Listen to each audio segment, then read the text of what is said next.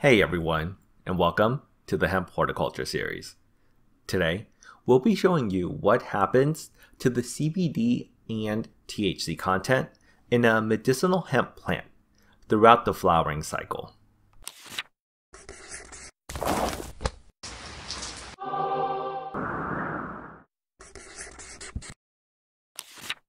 Hemp is a strain of cannabis with a very low tetrahydrocannabinol or THC content, so that it does not provide the same psychedelic effects that cannabis is traditionally known for.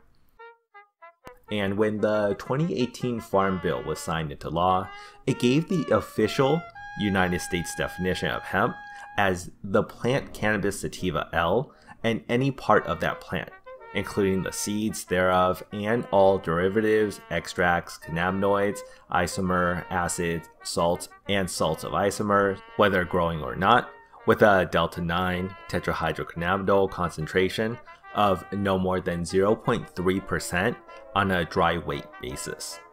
For medicinal hemp, it's with this official 0.3% THC number that separates it from being labeled as cannabis. And as we take a look at the numbers, you'll see just how interesting and weird this gets because of these arbitrary numbers provided by the US government.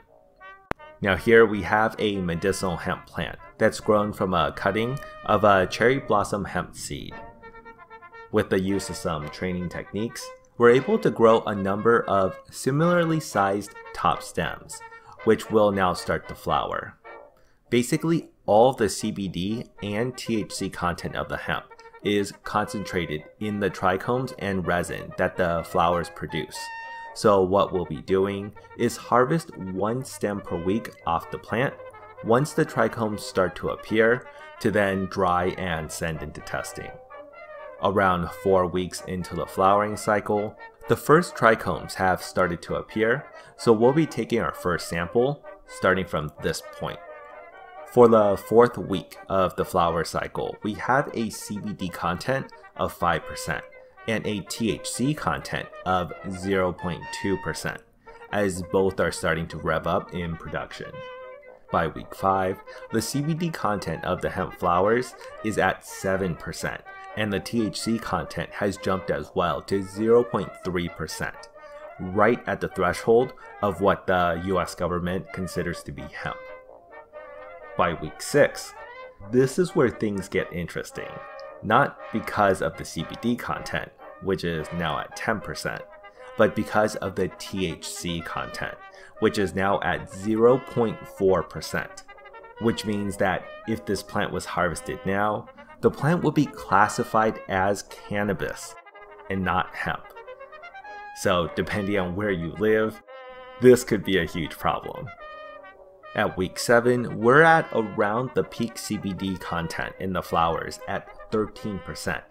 But if you're growing commercially or just want to ensure that what you're harvesting is still legally considered hemp, you'll need to wait, as the THC content in the plant has peaked as well at 0.5%. Weeks 8 and 9 show that the THC and CBD is starting to degrade in the flowers.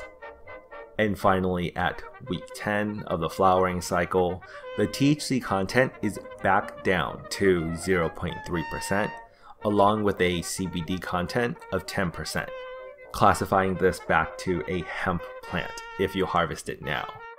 And this is why testing for commercial growers is so important, because if you harvest it earlier, your plants wouldn't have passed testing.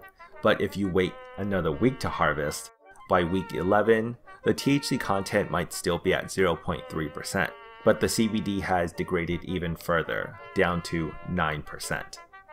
And, just for fun, I waited another two weeks to harvest the final part of the plant. And by this time, week 13, the THC content has dropped down to 0.2%, along with the CBD at 7%. And those are the numbers when it comes to the development of the cannabinoids in medicinal hemp during the flowering stage. If this gray area created from the arbitrary 0.3% THC confuses you, just know that you're not alone, as a lot of people are trying to navigate through the same gray area as well. But we'll dive more into this topic, covering both medicinal and industrial hemp in a future hemp horticulture video. Testing hemp is really expensive to do, so if you want more of this sort of content, be sure to let me know in the comments below. Also, if you want to support what we're doing, we'd love for you to join us on Patreon. As a patron, you'll get a copy of the Absolute Beginner's Guide to Creating CBD Products from Scratch ebook for free, as well as exclusive access to future videos before they're released, and all the in-depth lab reports from the testing of these hemp plants. And that's it.